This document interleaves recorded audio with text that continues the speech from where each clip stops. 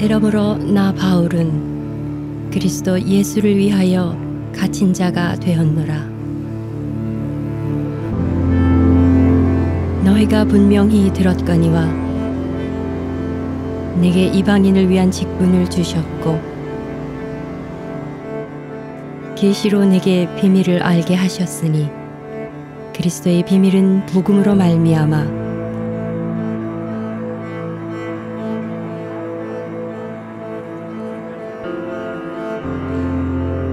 이방인들이 함께 상속자가 되고 함께 지체가 되고 함께 약속에 참여하는 자가 됨이라.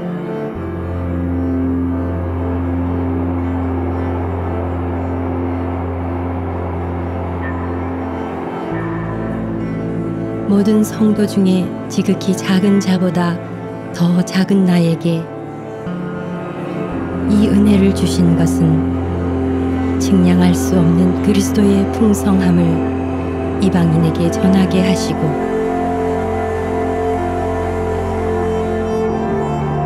하나님 속에 감추어졌던 비밀을 만민에게 드러내게 하시며 이로써 이제 교회로 말미암아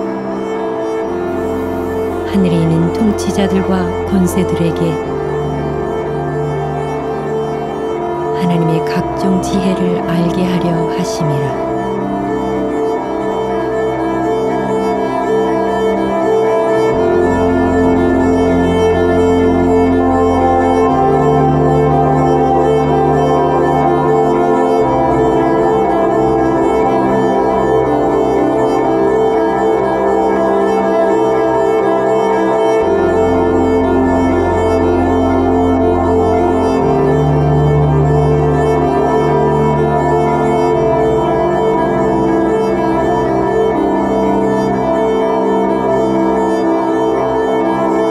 내가 비노니 성령으로 말미암아 능력으로 너희 속 사람을 강건하게 하시오며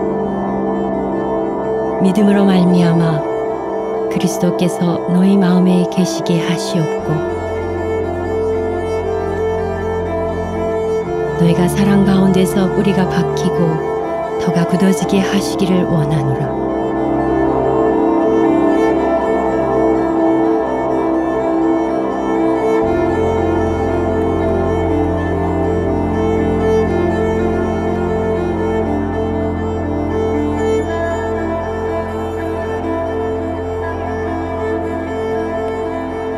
우리 가운데서 역사하시는 능력대로 우리가 구하거나 생각하는 모든 것에 더 넘치도록 능히 하실 이에게